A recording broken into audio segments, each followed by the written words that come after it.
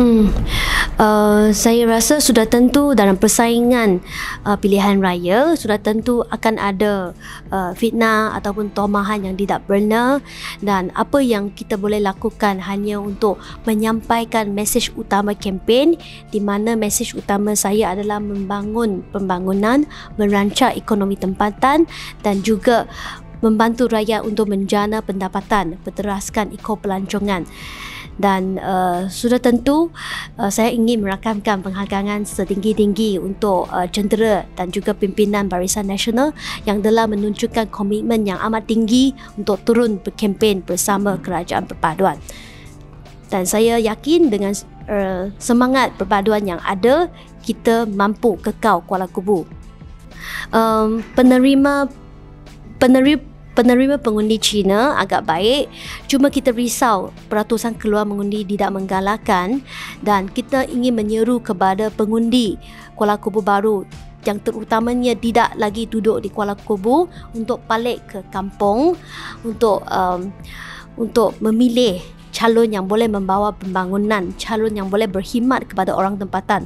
Walaupun pengundi uh, mungkin tidak duduk di kampung tapi adalah tanggungjawab pengundi untuk menunaikan tanggungjawab untuk memilih calon yang paling tepat lah sebagai satu um, sebagai satu perkhidmatan apa tu ataupun tanggungjawab terhadap kampung sendiri.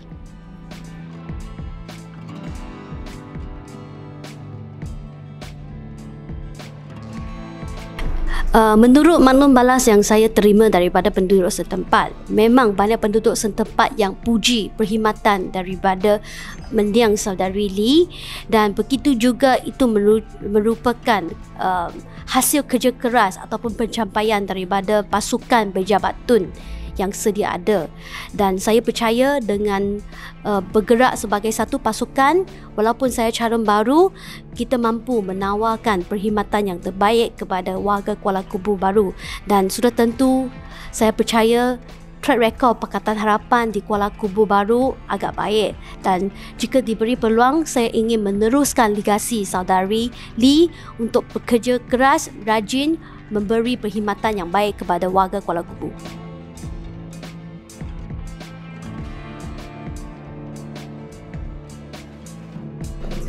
Uh, saya percaya parti-parti masing-masing ada kekurangan, ada kekuatan dan saya percaya pengundi-pengundi Kuala Kubu akan memilih calon yang paling tepat ataupun calon yang mereka rasa boleh memberi perkhidmatan.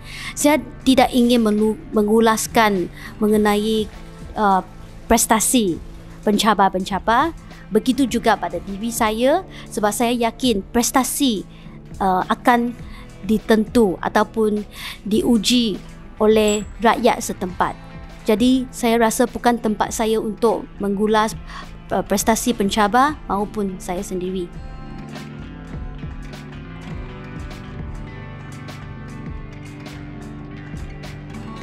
Uh, saya rasa um, di bawah pimpinan Yang Amat Berhormat Datuk Sri Amiruddin Syari, Selangor kini kekal sebagai penyumbang yang paling besar dari segi KDNK kepada negara yang tercinta. Dan begitu juga dengan pelaburan yang meningkat uh, semakin yang semakin meningkat.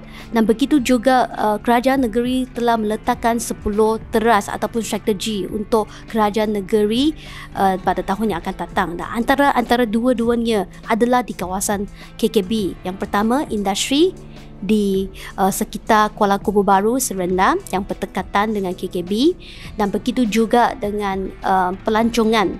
Jangan lupa uh, tahun depan tahun adalah tahun melawat Selangor tahun 2025 dan sudah tentu ada banyak perancangan untuk mempromosikan Kuala Kubu Baru sebagai destinasi pelancong ter- terkena di Selangor. Jadi saya ingin menyeru kepada semua pengundi mengambil peluang keemasan ini untuk kita bangunkan lagi merancangkan ekonomi berlandasan ekopelancongan supaya orang tempatan boleh menikmati hasil daripada perkembangan ekonomi.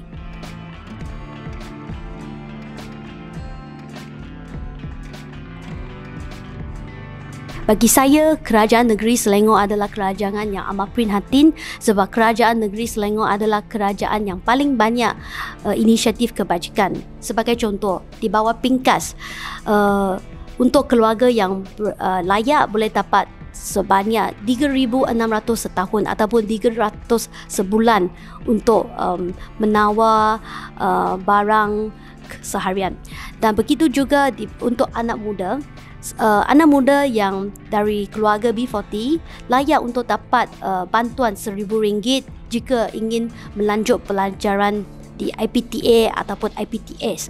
Dan begitu juga jangan lupa ada satu lagi yang saya tengok. Ah, begitu juga bagi Jom Shopping voucher untuk perayaan Hari Raya Tahun Baru Cina ataupun Deepawali.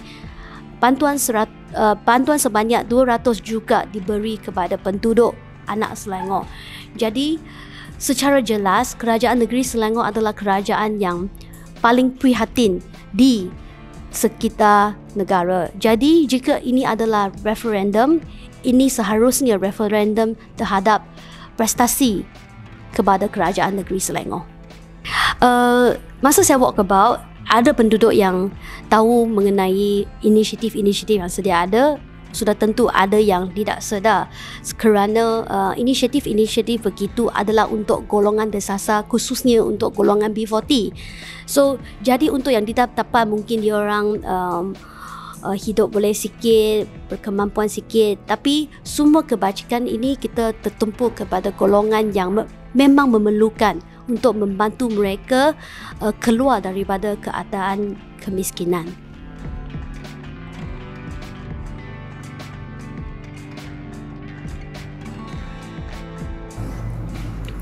Uh, jika diberi peluang, saya akan menunaikan janji saya yang telah digariskan dalam manifesto tapi untuk mana yang akan jadi fokus utama yang itu kita kena balik kepada situasi pada ketika itu di mana saya akan menggaji ataupun mendengar uh, penduduk uh, mendengar pendapat penduduk-penduduk untuk menentukan mana akan menjadi fokus utama melihat situasi pada semasa ketika.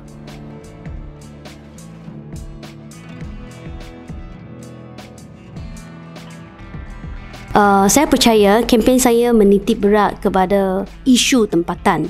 Sebab sepanjang kempen ini banyak maklum balas yang telah diterima dan penduduk-penduduk setempat memang ingin calon yang boleh berkhidmat. Memang banyak soalan dibangkit itu berkenaan isu tempatan.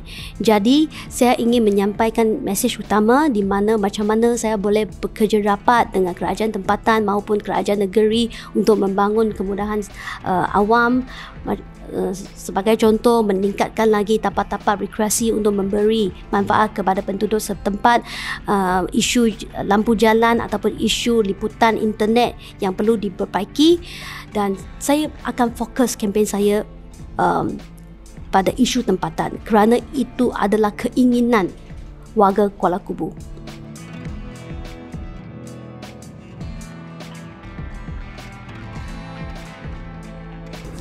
Uh, saya tidak pernah mengambil muda terhadap mana-mana pencabar ataupun calon-calon dari mana-mana parti. Dan saya percaya itulah adalah tanggungjawab sebagai calon untuk um, memberi penerangan bahawa apa yang boleh ditawarkan. Dan saya percaya politik pada masa kini harus fokus pada pembangunan, pemulihan ekonomi dan juga kestabilan politik.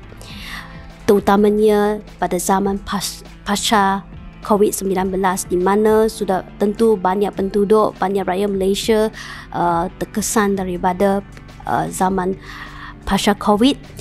Dan saya percaya um, kita kena fokus pada keperluan penduduk-penduduk setempat. Dan saya yakin walaupun saya bukan calon dilahirkan di Kuala Kubu dan dengan semangat hendak seribu daya tak hendak seribu dalih dengan pasukan yang sedia ada yang cukup cekap yang berpengalaman kita mampu memberi perkhidmatan yang berkesan kepada penduduk-penduduk setempat Hai semua, saya Pang Sok Tau, calon nombor dua bagi Kerajaan Perpaduan dalam PRK Kuala Kubu baru kali ini.